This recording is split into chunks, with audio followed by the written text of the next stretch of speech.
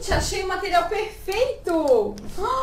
Galera! Ó, esse material aqui acho que vai ser show pra nós. Tô recortando aqui um pedacinho, gente. Fazendo um artesanato muito legal. Eu gosto dessa batatinha aqui, viu, gente? Eu gosto muito dessa batatinha. Não é fazer mexer, não. Esse aqui não é mexer, isso aqui é, como é que é? Recomendação. Essa batatinha é muito gostosa. Quem não tava acreditando, por favor, né? Quem não tava? Todo mundo tá acreditando que eu sei, todo mundo adorou a ideia. Ó, eu acho que ficou massa, hein? Eu não sei direito o que eu tô fazendo. Eu tô seguindo a minha vibe aqui. Ó, ó.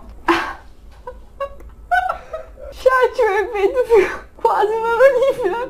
Igualzinho.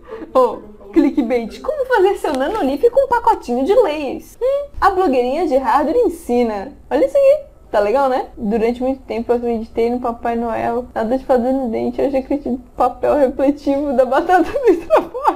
Gente, tá show no final. Tá show demais.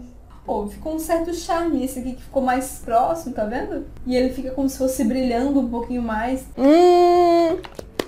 Vamos ver. Meu Deus! Tá doido? Olha que coisa bonita. Chat, que isso? Isso aqui é um biscoito ou uma bolacha?